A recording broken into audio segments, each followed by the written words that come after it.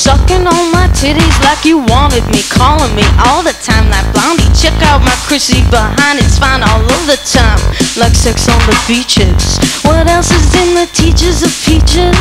Huh, what? Why did the chicken cross the road? Because I kicked it. Why did the chicken cross the road? Because he stole my jetpack. How did the chicken cross the road? He stole my jetpack. No, seriously. Why did the woman cross the road? Doesn't matter. She should have been in the kitchen. If a beaver swims upstream one way and downstream the other, how many pancakes does it take to fill in a doghouse?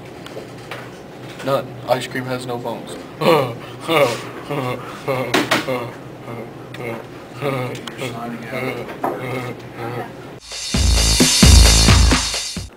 This one time, I was in a cave.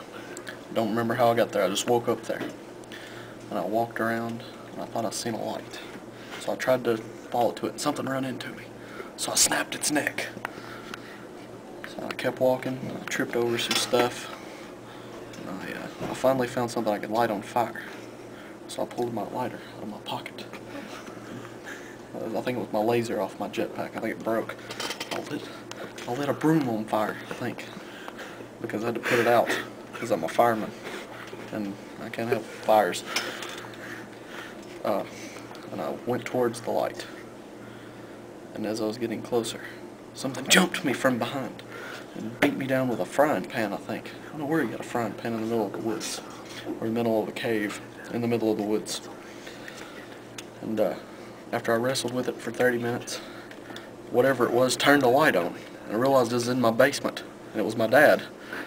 And he had a broke neck. After uh, I found my dad, he uh, he beat me mercilessly with a with a rake, and I was grounded for a year. The end. I'm